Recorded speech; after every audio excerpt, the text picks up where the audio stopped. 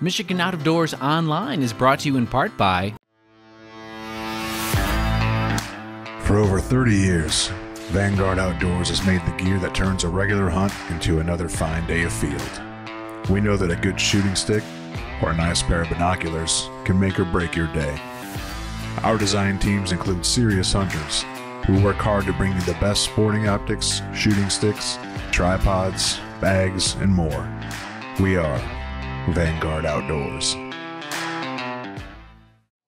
Hi, everybody. Welcome to Michigan Out of Doors. I'm Jenny Silik, and we have an incredible show in store for you this week. You will not want to miss it. We're going to kick it off in the Upper Peninsula, where I had the honor of tagging along and being a part of a bear hunt with a very special young lady. You will not want to miss that story. And Jimmy has a fishing adventure in store for us this week. Well, that's right, Jenny. We do have a fishing adventure for you on this week's show. And with this warm weather of late, it has felt a little bit more like the middle of summer than the start of October. But we were able to hit the water with a buddy in the Houghton Lake area. We were in the area, and he said he was going to be doing some bass fishing, and we jumped at the chance to get on the water on his boat. You won't want to miss that. We had a lot of fun. Lots of good stuff on this week's show. You stay tuned. I'm Jimmy Gretzinger, and it's time for Michigan Out of Doors. From the first spring rains to the soft summer breeze, dancing on the pine forest floor. The autumn colors catch your eyes, here come the crystal winter skies. It's Michigan, Michigan out of doors. What a beautiful day in the woods. Someday our children all will see this is their finest legacy. The wonder and the love of Michigan as the wind comes whispering through the trees. The sweet smell of nature's in the air. From the Great Lakes to the quiet stream, shining like a sportsman's dream. It's a love of Michigan we all share. Michigan Out of Doors is presented by by Country Smokehouse, a sportsman's meat processor and Michigan destination since 1988, offers a variety of homemade smoked meats and Michigan-made products in-store and online. The Country Smokehouse features an outdoor barbecue and bar. Details at countrysmokehouse.com. By G5 Outdoors, makers of the Quest and Prime bows, manufactured and designed in Memphis, Michigan. G5 offers a line of archery bows, broadheads, and accessories on the web at g5outdoors.com. By Greenmark Equipment. Greenmark Equipment is a John Deere dealership network in southwest Michigan and northern Indiana. Greenmark provides sales and services to farmers, commercial businesses, large property owners, and homeowners. Information about pricing and products available can be found online at greenmarkequipment.com.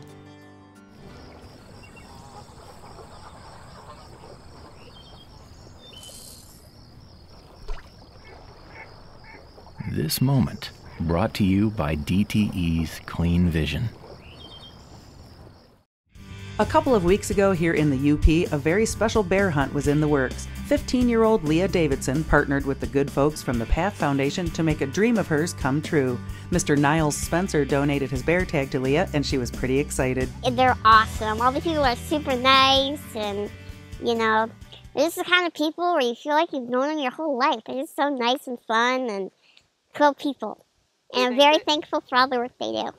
Leah has been hunting for a couple of years now, and filling a bear tag has been something she's dreamed about. My fam- my family has always been a big hunting family, and so I've been out with my dad every. Um, sometimes we go out and sit, and I watch him watch deer come in, and that's been pretty fun. But I didn't actually start hunting until like maybe two years ago. Okay. What do you like about hunting? Um, well, it's just I like being out in nature. Hunting in the morning is my favorite because you get to watch the sunrise, and um, I don't know, getting big bucks and big bears and stuff is awesome. and meat too. I love meat. awesome.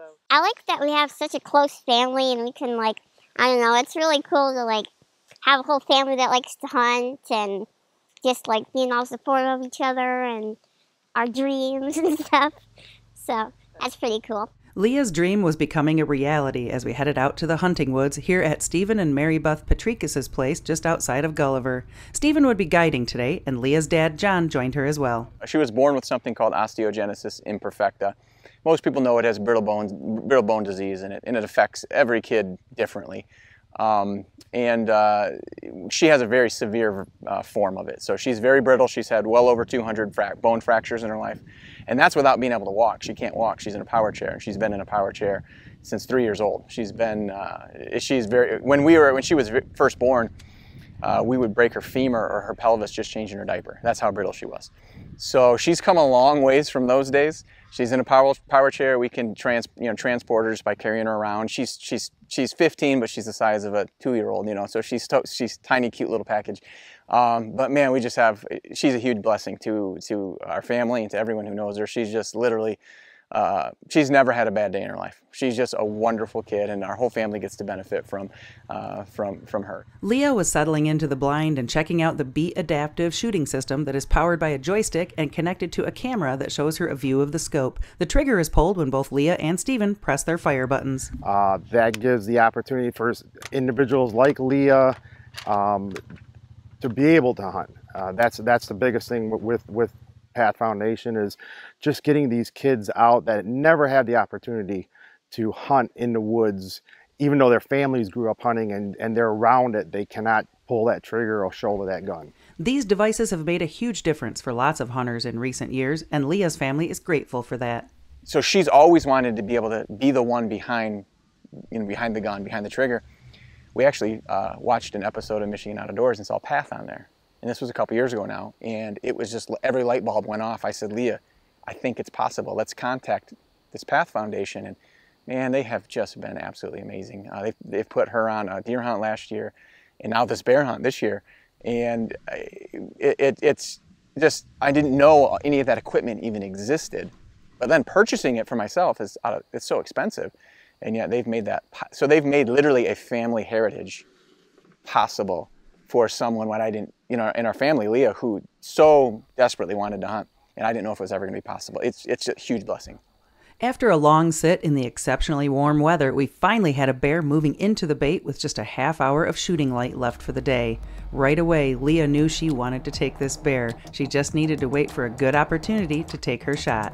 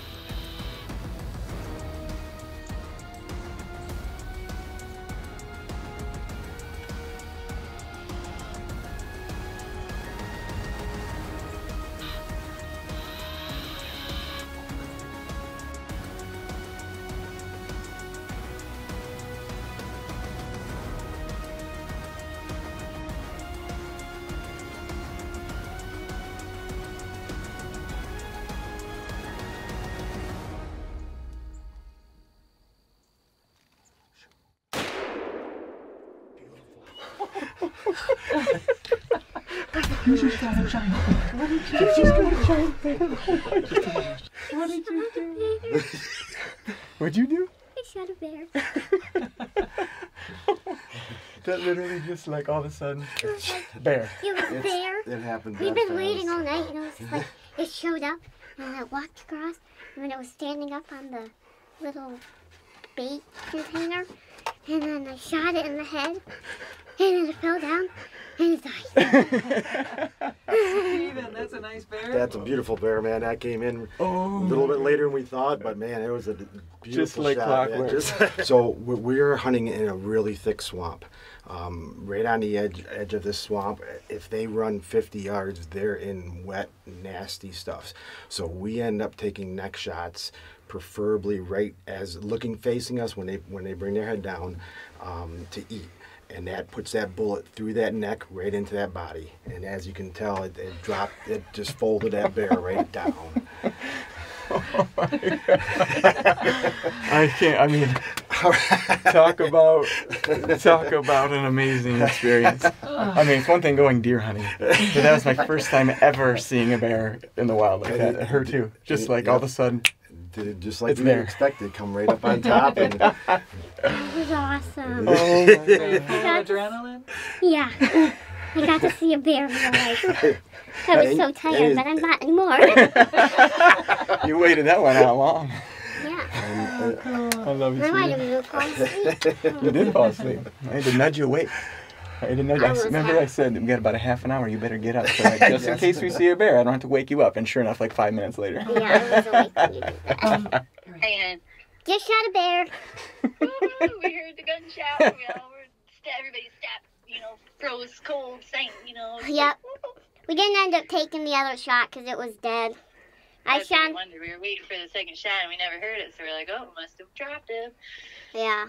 It put it. It walked out from the right or no the left, and it came up over top of the eating part, uh-huh. whatever. Eating- and then it dipped its head down to eat, and I shot it right in the neck, right in the best shot, right in the best spot possible. Awesome. Leah couldn't wait to get out there and put her hands on her very first black bear. This girl is truly amazing and such an inspiration to anyone she comes in contact with. Leah brings an energy with her wherever she goes, and her advice to others you should never let a disability hold you back. I don't know. It's just n- never hurt to try. So I think you should just try to do stuff that you want to do, and it's really awesome. It's really cool to know that I can shoot one, and that there's pe- thing, ways that people have been able to figure out for that I can go hunting with my disability. So that's really cool. Way to go, Leah. We we truly believe that um, that the Lord has um, you know had something in store for Leah. We didn't know exactly what that would look like.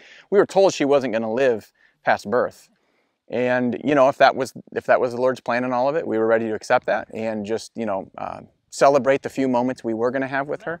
Um, but obviously, the Lord had different plans for her, and she's 15 years old now. And um, yeah, I mean, I, our, our, our faith and hope in Jesus Christ is really, uh, I mean, that's her that's her hope too. Uh, she knows this is temporary, and uh, she's got an eternity to look forward to. That's going to be a whole lot better and different than this. Special thanks to Leah Davidson, her parents, her four siblings, and all of the great folks at the Path Foundation for letting us be a part of this amazing experience. We wish Leah many more amazing moments like this one right here in Michigan's Out of Doors.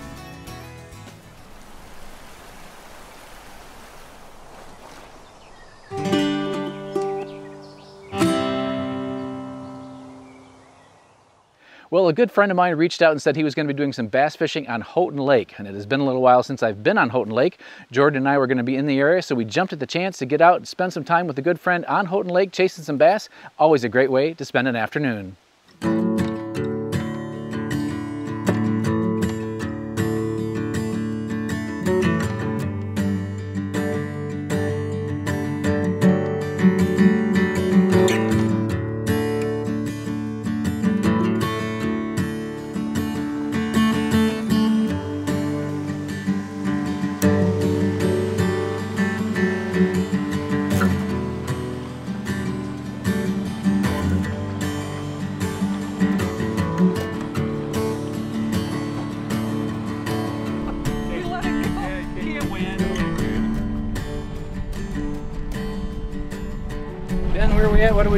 We are on Houghton Lake.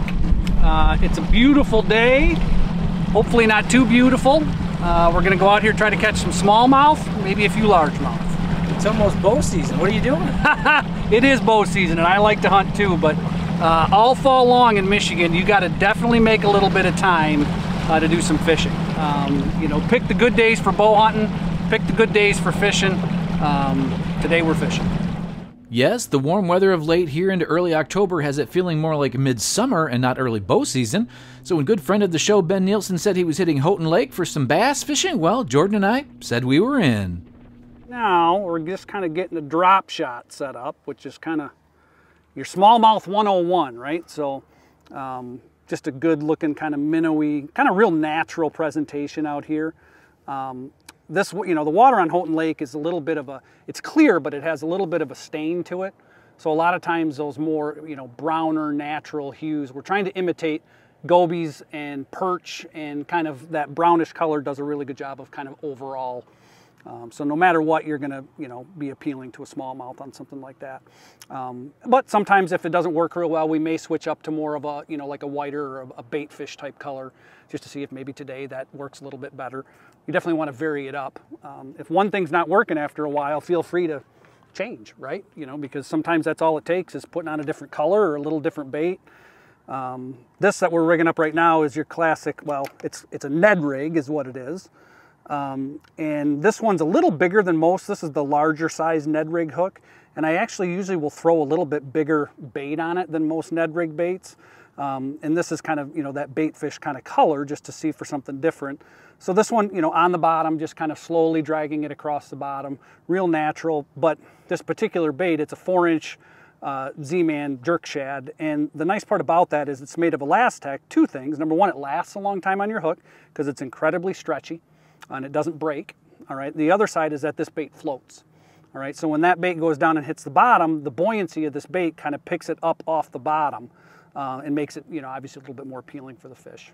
So good way to go. No That's doubt about start. it. That's our start. And this glass calm conditions, middle of the afternoon, not ideal.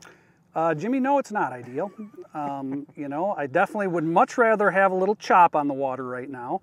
Uh, the sun is a good thing for smallmouth, but the slick calm uh, definitely usually will put them in a little bit more of a negative mood. Um, you know, hopefully we can still convince a few of these things to bite, but um, I would much prefer to have a little bit of wind out here right now. Go figure, Houghton Lake, which is known for being so rough, I think we probably have the nicest day of the year going on right now.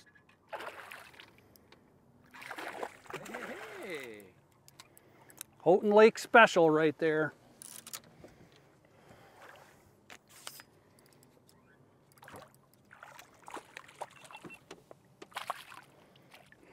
Fell for the old drop shot. So we'll see if I can do this okay here. They're angry fish sometimes, I tell you. There we go. Nice. Yeah, beautiful looking fish. That's a pretty fish. Look at that. Yep, You said it was a drop shot that got him? drop shot. Yep, yep, yep. That there. that bait right there was the one that got him. You can see we got the hook right down in there, right in the roof of his mouth, right where you want it. Ben is an avid angler and fishes a lot of tournaments here in Michigan and around the country as well. He's also very good at explaining the different tactics and setups he likes to use this late summer and early fall time of the year that really can be effective around the state no matter where you're at. That is a spunky one right there.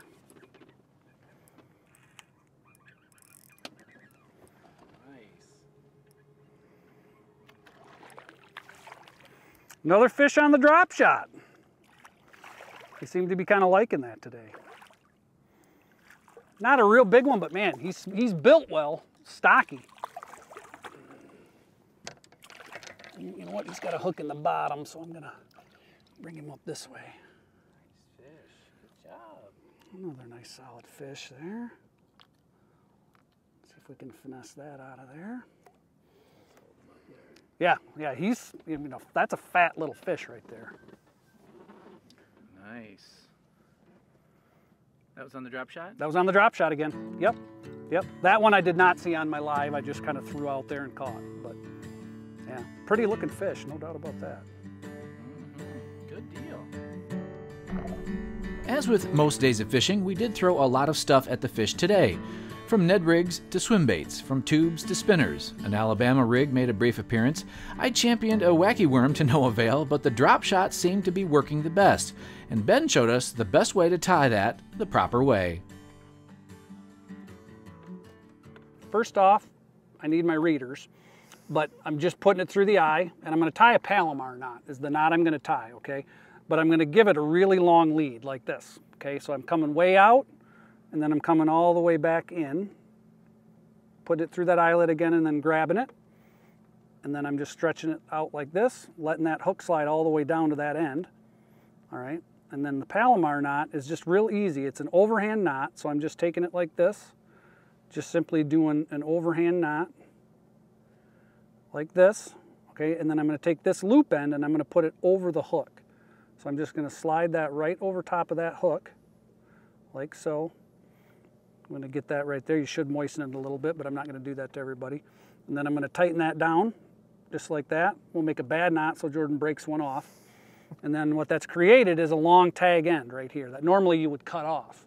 But we're not going to cut that off. In this case, we're actually just going to leave that because that's going to be our drop shot line. And you always want to make sure that your hook is pointed upwards, all right? So in this case it is, but what we're going to do to make sure that that stays that way is we're going to take the end of the line and we're going to go through that eyelet one more time. All right, so we're just going to simply come right through if I can do this without, like I said, I need readers. We're going to slide that through one more time. And what that does is that ensures that no matter what happens, that hook is going to stay in that upward angle for us so that it's always up and gets a good hook in the fish. And then you can vary your leader length. You know, in this case, we want to be probably about that far off bottom what 12 to 15 inches, something like that. Um, and then all we do is for this, we're just going to tie an overhand knot in the line. We're going to leave a little tag end on there like this. And then we just make that knot. And then we take our weight, all right, and we're going to slide it right inside of there, just past where that knot was. And then that knot will hit that and stop it, and then it'll hold it right there like that. What I do is I actually will take and tie just a couple overhand knots in it after that just to make sure that it doesn't come off.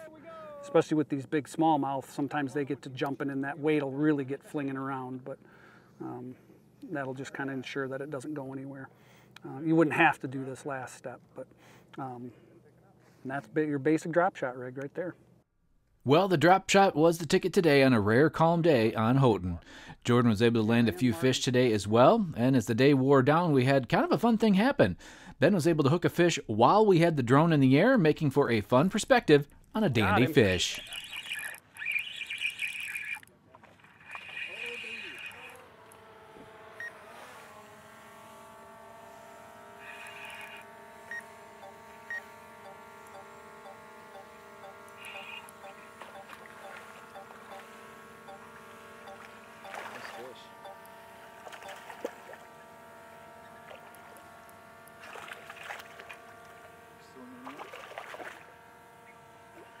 Probably shouldn't swing him. He's probably heavy enough he'd break off. But you coming over here? Yeah, I'll come right down over here and just grab him.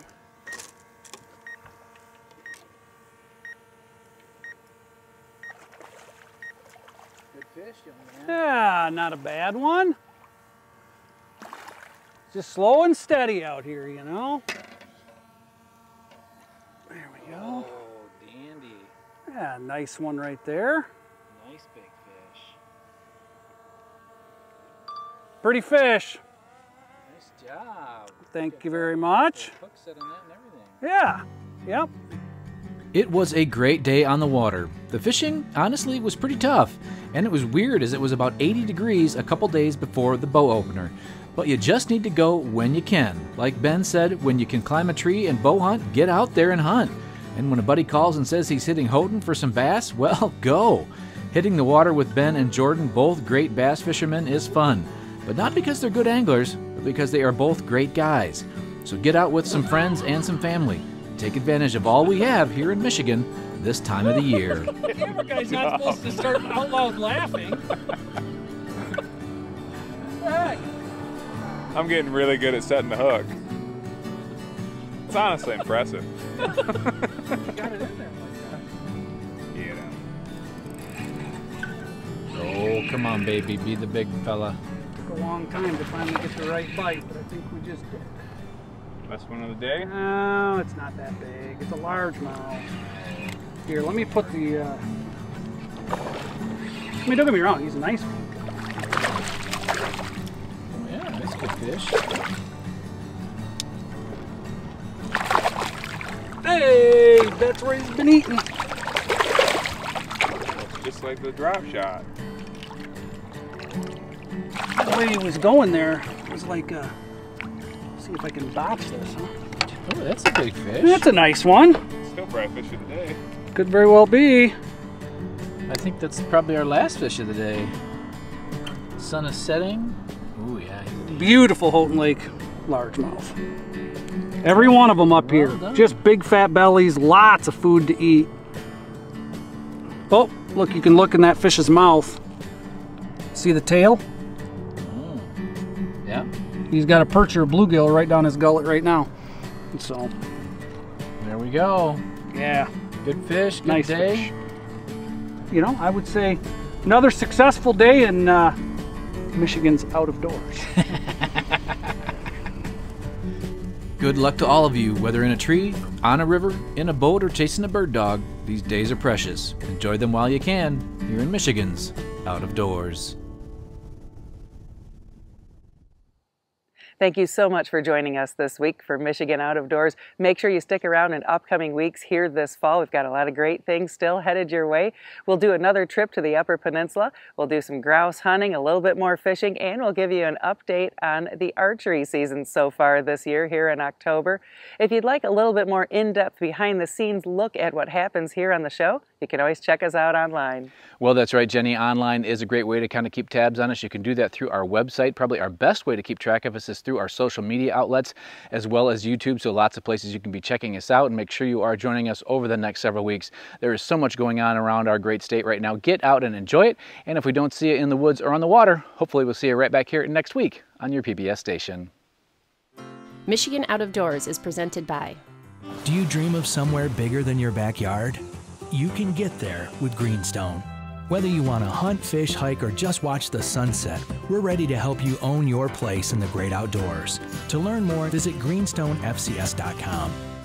By Alta Equipment Company, providing sales, rentals, service, and parts because uptime matters. From earth moving to landscaping and light construction, Alta offers over 50 brands across seven Michigan locations to serve you. More information online or 844 GO, the number 2, Alta. By SCI. SCI helps protect, promote, and preserve wildlife through conservation practices, which include hunting. SCI supports and funds conservation programs in the state of Michigan. Learn more how you can get involved at a chapter near you. By Jay's Sporting Goods, with locations in Clare and Gaylord. Jay's has been serving the Michigan outdoor enthusiast since 1971 with a wide variety of outdoor products. The gear, the knowledge, the tradition of Jay's. On the web at jaysportinggoods.com. When I wander far away, a dream stays with me night and day. It's the road that leads to my home state. I am a Michigan man. Changing seasons paint the scene like rainbow trout in a hidden stream. The white-tailed deer in the tall pine trees. I am a Michigan man.